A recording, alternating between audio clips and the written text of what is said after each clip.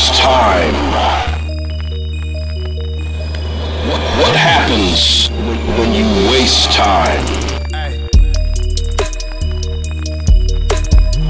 My, my father told me that, that when you waste time, in essence, time is, is wasting you. And, and when you look at life from birth to death, the question is, what happens?